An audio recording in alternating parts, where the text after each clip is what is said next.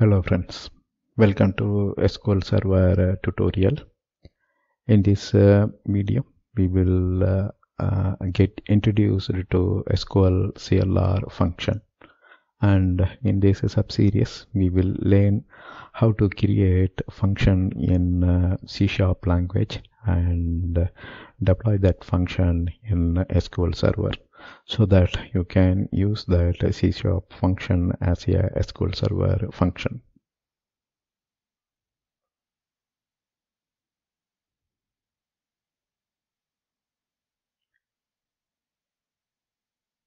SQL Server supports many built-in functions to satisfy the need of the database interaction.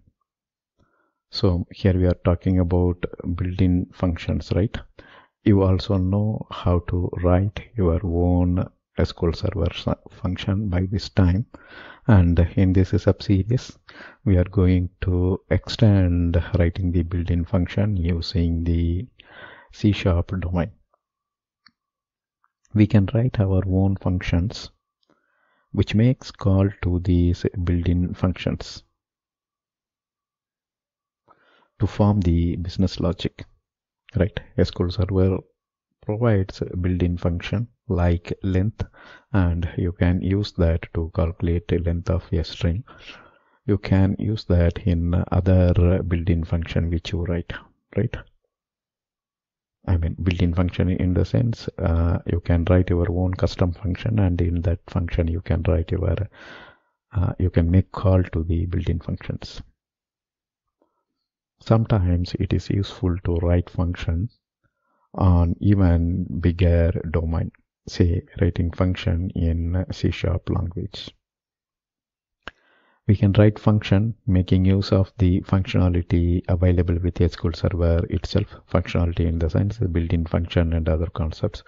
Or you can write function in uh, uh, other domain like C Sharp or .NET domain and when you are writing the C Sharp language based function you can use built-in .NET libraries Later, this function can be deployed into the SQL Server engine. We call these functions as SQL CLR function. That means when you write a function in C Sharp domain or .NET domain, we can call it's an integration between SQL as well as CLR common language runtime. So such a functions are called SQL CLR functions. So once deployed, SQL CLR functions can be used as a normal SQL Server function. So usually I will create a function. So let's state this is begin and you will form the body then you will go with end begin and end right so inside you may make a call to built-in functions. So these functions are offered by SQL Server itself. Alright, so it's also possible to make a call to CH deployed function. So in CH language, you will write a function right then you will deploy that to the SQL server. Then it can make call to that deployed function.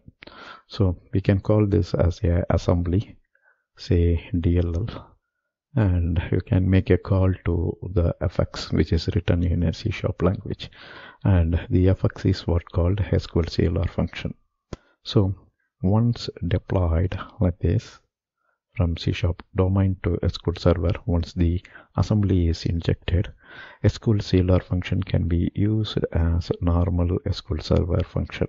Just like length function, you can use this uh, SQL uh, CLR function as well. In this sub-series, we will create a SQL CLR function and explore how to deploy and use it in SQL Server. there is no demo here. Thank you for watching. Bye